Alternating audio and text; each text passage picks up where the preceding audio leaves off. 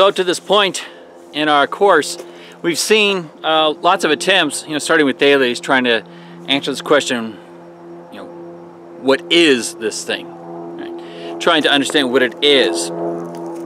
Uh, we've even seen answers from, uh, you know, some of the uh, sophists that, you know, it's whatever you want it to be, right? Ranging from this reality that's independent of the mind that our, to which our mind must conform and not the other way around to, yeah, just make it whatever you want, and it, and it is that. So what if you can argue? Well, Plato is uh, still grappling with this question. He, he's trying to uh, really deal with two questions that, uh, that you know, are, are, are on the top of our minds, really. Right? And the first is you, you have to explain that a thing exists. Right? So I'm walking through this park right now and I'm walking past these trees and I'm, I'm not thinking to myself, wow, it's really kind of neat. These trees just popped into existence uh, the minute that I am here. It's like, no, I mean, there's, there's some reason, there's some account for why these trees are here before my arrival. They didn't just pop up right now. And they didn't just pop up. They, they came from something. And so that's the first question you ask is, uh, you have to explain is the that a thing exists. How did it get to be here? What brought it into existence? What's it composed of? Uh, what was the causal chain? What's its history? Okay. The second question is what a thing is. That something, you know, explaining that something comes into existence or that something is now existing. Okay, that's one thing, but telling us what it is after that is something else. Now we say these are trees. All right. The question of that the tree exists can be explained, right? We can do a real good job of this talking about, you know, the seeds of a tree, the germination in the ground, water, soil, nutrients, uh, uh the uh, uh, gases that are in the atmosphere, uh, and you know that affect you know how it interacts with the rest of the environment. Okay, that you know that's the that of the tree's existence. The what is what it means to be a tree. There's something of what it means to be a tree and for me to be human. And there's a difference between those two things. And what it means to be ground and air and water and animal and everything else. Now Plato is trying to answer both questions. Uh, he's trying to explain that, uh, trying to explain the existence of every individual thing and what it is. that, you know, trying to explain that it exists and what is its existence by appealing to form.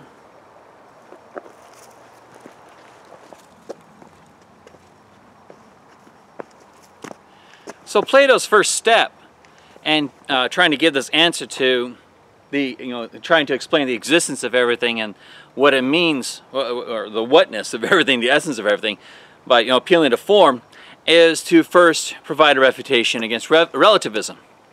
Now relativism, you know, if we're going to just kind of simply state it, uh, is the assertion that you know, a proposition P is true when and only when a person believes it. So, so this is the idea. If you want to account for truth, you want to know what's true, to ask what people believe.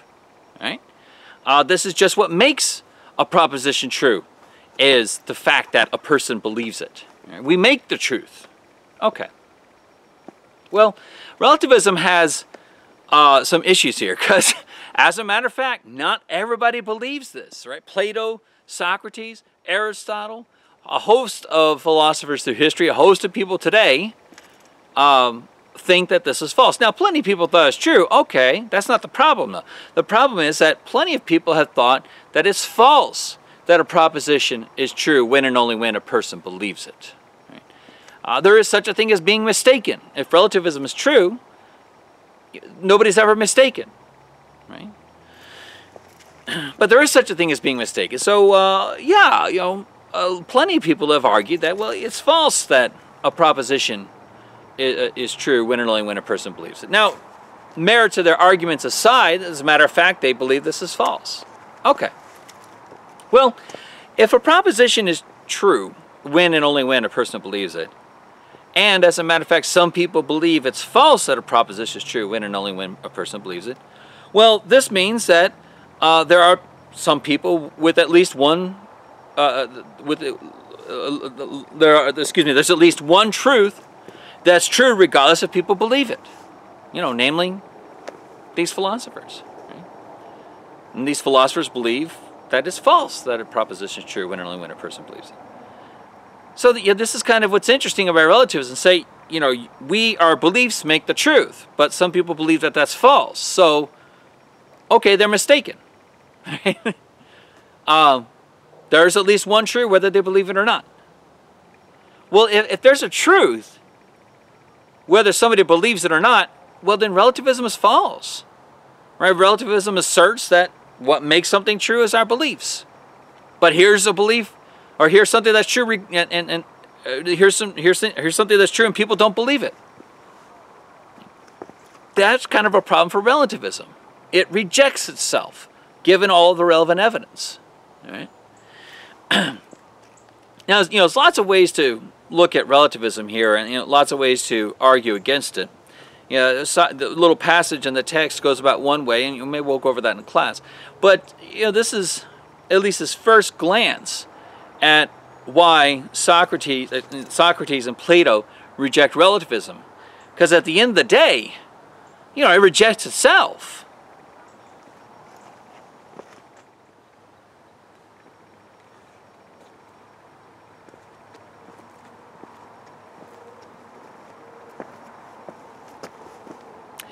So the first step that Plato takes is rejecting relativism.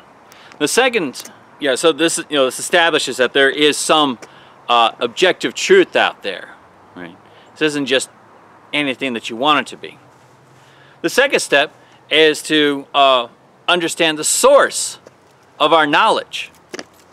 Now we, we might be tempted to think that the source of all our knowledge is perception, right?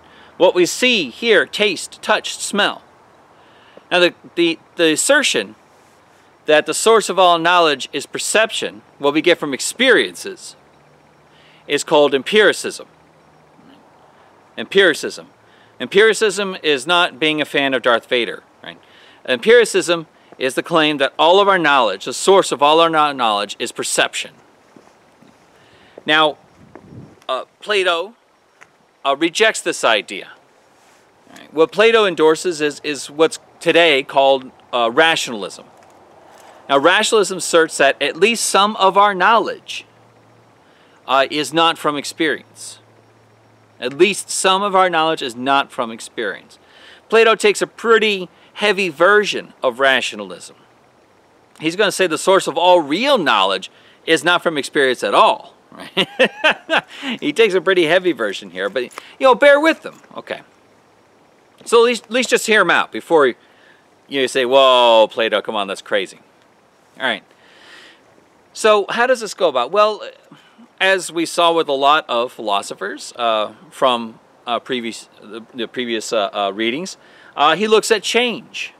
Right? Change. Now, it doesn't look like it right now, but this creek bed's gone through a lot of changes. Right? Uh, at one point, there was water flowing through here. There's not water flowing through here now there was probably, or maybe there's more soil on the ground that's been washed away by creek by uh, uh, flood waters or, or creek waters. Uh, some of the vegetation has lost its leaves, but you know th that's the season for it, and the leaves will grow back. Some of the vegetation wasn't always here. Some, uh, it, you know, it grew up from the ground. Uh, some of it will disappear, right? It'll die and wither away and decompose and provide the fuel for the next line of vegetation. Uh, this won't always look like, I mean, heck, this whole area didn't always look like this. You may or may not know this, but this whole area, way, way back, are talking thousands of years, was once covered in water. Right? We've seen the fossil evidence for that. Um, someday, maybe it'll be covered in water again, or maybe all the water will, um, you know, be somehow destroyed, and this will just be a desert landscape after a while. Right? Whatever. Uh, the point being that you know, while it looks pretty stable now, this goes through a lot of changes. Right? And, uh, you, you know, as it goes through changes, it becomes one thing or another. All right, so, you know, there's a tree right over there, right? It's kind of big at this point. It's what, 20, well, big compared to me anyway. You know, it's what, 20 feet tall? It wasn't always 20 feet tall. It started out as, you know, some kind of seed, an acorn and it sprouted through the ground, right? It grew leaves, it grew, it grew more branches, it grew bark.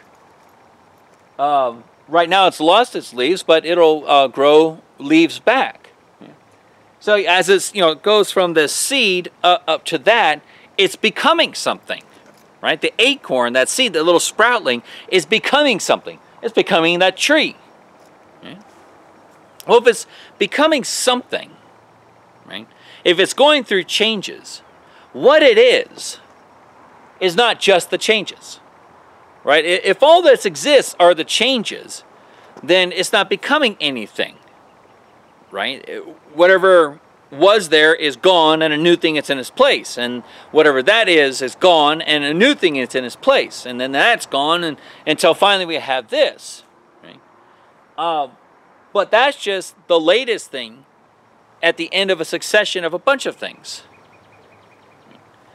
okay but you know we don't think that we don't look at an acorn and say oh well soon this you know there, this will be nothing and something else will take its place miraculously. No, no, we say that it's becoming a tree.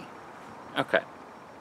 So whatever a thing is, you know, whatever a thing is, right, is not the changes. If it's becoming, it's becoming something. It's becoming something. You were a little infant and you went through a lot of changes. Well, you're not identical to the changes. If all you are are the changes, you don't exist for very long. We've seen this with Heraclitus but you're becoming something. So, whatever you are is not identical to the changes. It's not just the changes. I've grown from, you know, 10 inches or so to 60 inches. Right? That's a lot of changes. I've grown from 10 pounds to more pounds than I like to admit. I even had blonde hair when I was a little boy. When I was a little boy, I had blonde hair. Right? Um, now, what we, we, we only perceive changes, right? I, we only perceive changes.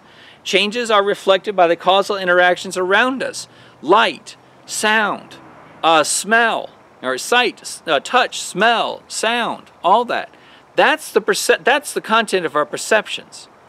We perceive only changes. When we look at an acorn, right, when it's first planted in the ground, we don't also perceive the tree it's going to become.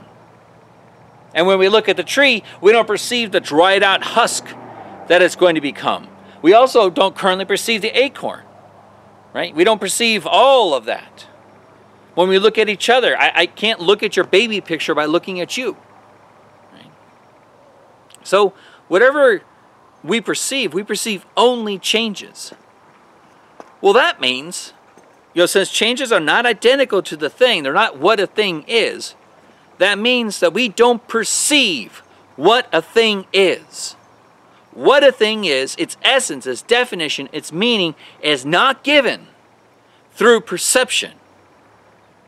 When I look at something, I don't see its essence. I might see its I see its color. I might even see its shape, the contours of its edges, okay right? We'll grant that to see the contour of its edges, but not what a thing is. Well, if perception gives us real knowledge, I mean, perception gives us knowledge, perception gives us knowledge uh, uh, at all for Plato, perception gives us knowledge at all, perception will tell us what a thing is, its essence. Heck, perception doesn't even tell you uh, uh, where a thing comes from. It doesn't even explain where it comes from. Right? It doesn't answer either one of those questions. Well, perception doesn't do this. Perception does, doesn't tell us what a thing is. So, perception is not the source of knowledge.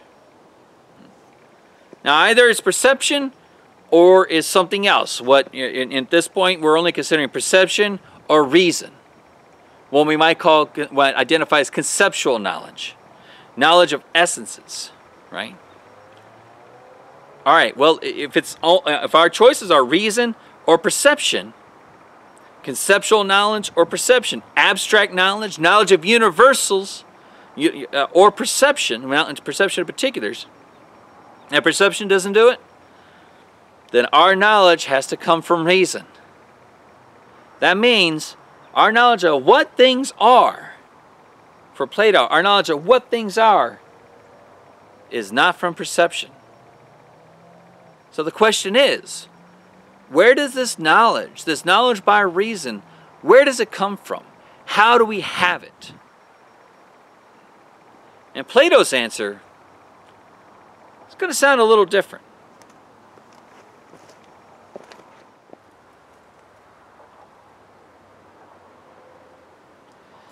So I've said that Plato's going to explain all of this or account for all of this by appealing to form. That's probably going to help, at least a little bit, to understand what he's talking about.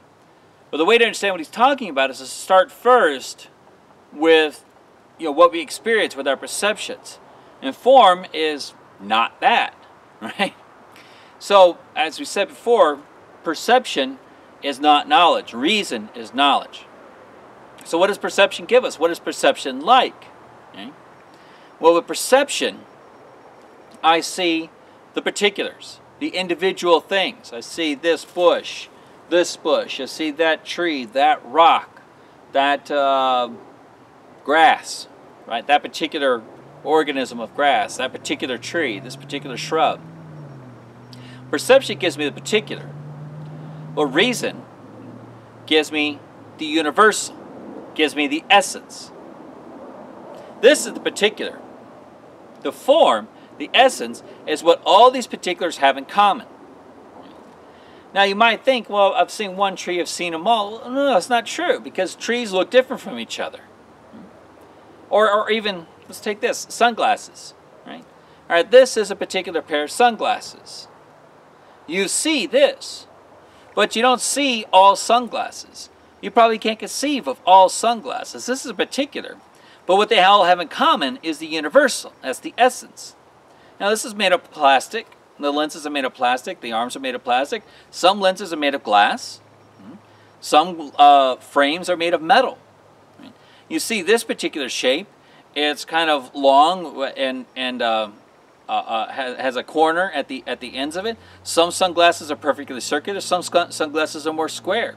These are, are kind of dark gray or black. Some are multicolored, right? Some dark blue or blue. Some are mirrored. Uh, you know, there's a whole variety of shapes uh, uh, to sunglasses. Whole variety of colors to sunglasses. You haven't seen all of them. Heck, you can't conceive of all of them, right? We don't know what the sunglasses of the future are going to look like. We don't know what they'll be made of. All right. But you know the universal sunglasses. You can look at this and say, yeah, these are pairs of sunglasses. This is, you know, sunglasses are not a hat. Sunglasses are not a shirt. You can distinguish sunglasses from regular glasses. Right? So, the point of that being is you perceive the particular thing. Right? You don't perceive the essence universal. That you have through reason. So that's the first thing, is the distinction between the particular and the universal. The form is the universal. The form is not the reason. All right. This is also the difference between uh, subjective experience and objective knowledge. Right? So perception is subjective. I have my perceptions. You have yours. They don't look alike. Even if we were standing in the same room, look at the same thing, there would be some difference. You know, as you know, as I've, I've, probably mentioned before, I'm slightly colorblind. I can't see as many colors as you do. The color spectrum is going to look different to you than to me. Mm-hmm. Um, even our experiences, our memories, our, uh, our uh, you know, how we've encountered different things is going to change how we perceive a thing. Somebody who's afraid of dogs is going to look at dogs much differently than other than people who are not afraid of dogs. So perception, knowledge of the particular, right, or the, the particular experience, that's subjective. Form, the essence, the universal, that's objective. That doesn't change depending on uh, who's looking at it. Perceptions are all are all subjective. Form is objective. All right. Uh, in addition to that, you know, we can contrast forms to the particular things even more. These particular things come and go. Right? This tree did not always exist, and then at some point it will cease to exist. This creek bed at one point didn't exist, at some point it will cease to exist. But the form, the essence of creeks, the form, the essence of trees will always exist. Right?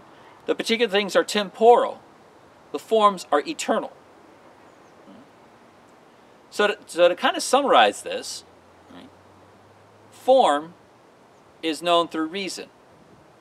The particular, the, uh, um, the particular things, the, the appearances, are known through perceptions. All right.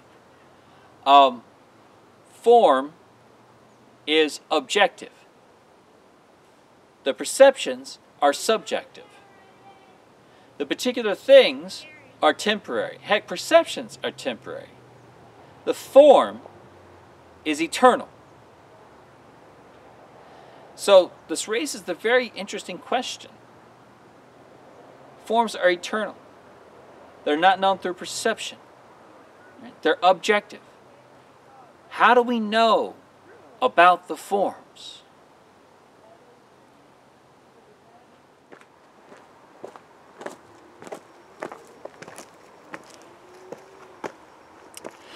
So Plato's given us form.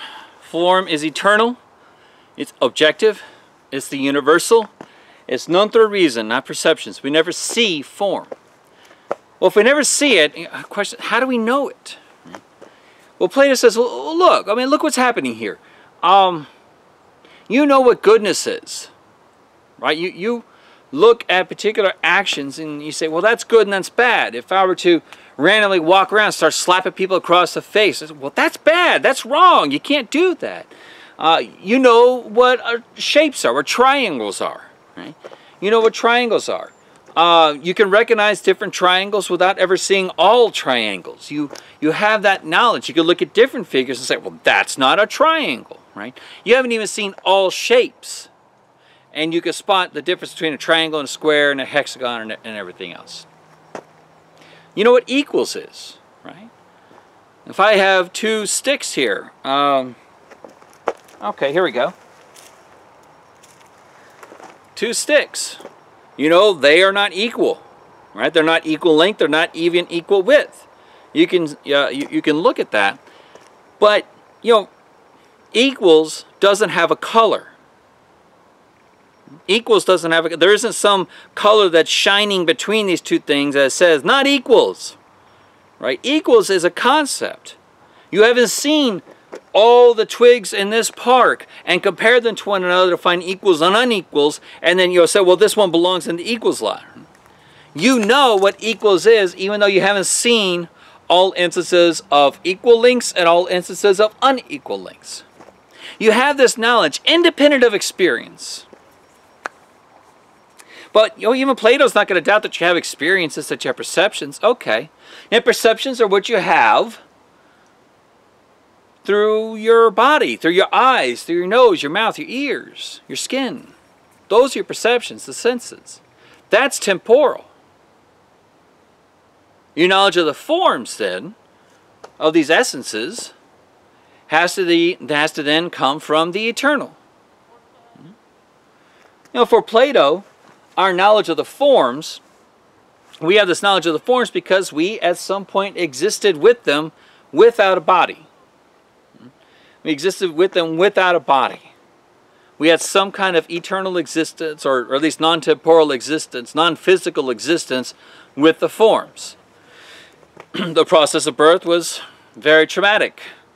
Uh, so uh, we spend the rest of our life uh, recollecting the forms. These copies of the forms, these mere, you know, poor shades of the forms, remind us of them. Okay, Right? We recollect the forms through this process of observation. But the knowledge of the forms was always there. All right, well, you know, whether you accept Plato's account or not, uh, there is some sense in which you may not necessarily recollect the forms, but we discover them. Right? We discover them.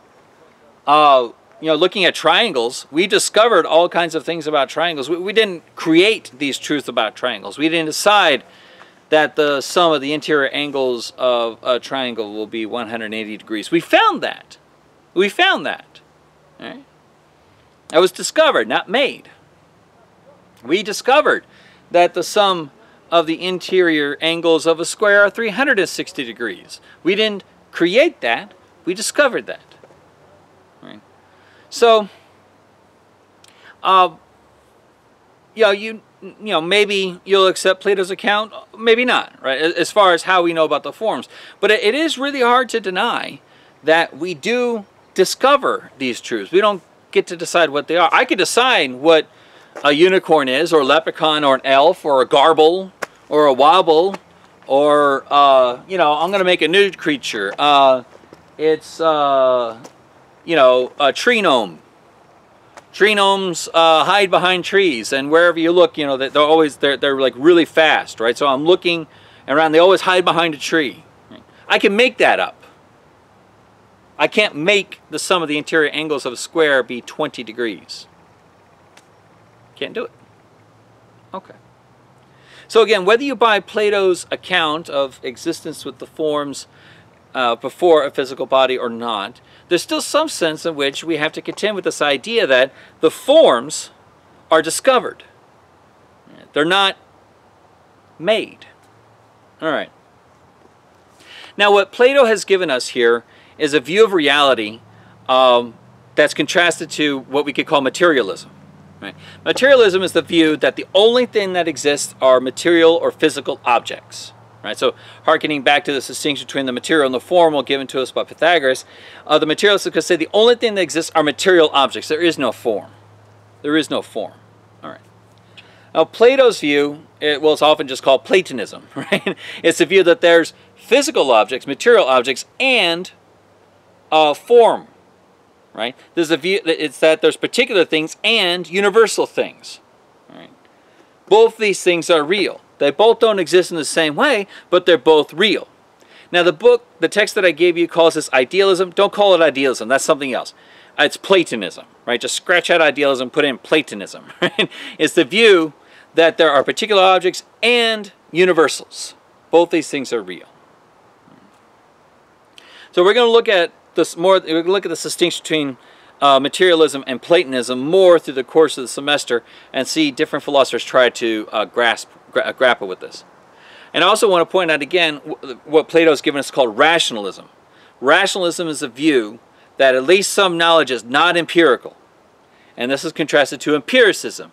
And that's the view that uh, all knowledge, all, the source of all knowledge is empirical. Right? That's empiricism. So, Plato's told us about form. And what he's told us is not only the what of this tree is form, right? This tree is a particular thing, and uh, the what of it is its form. But he also says the that of this tree, that is the, the explaining that it exists, is also form. Because as I said, as we pointed out, these are particular things. These come and go. But the forms are eternal. That means that the form is more real than that tree. And when you understand form, you understand reality better. You want to understand that tree? Don't look at that tree. Look at its form. To understand all trees, look at its form.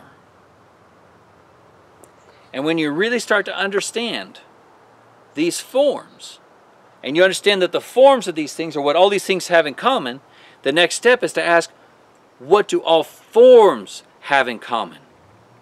What is it that all these particular things and forms have in common? Because they all exist. It's all good, goodness. So you're working way up to what everything has in common. And what everything has in common for Plato is goodness, is being itself, existence, exist. And when you understand that, you understand everything else. This, for Plato, is wisdom. To understand being, goodness, truth.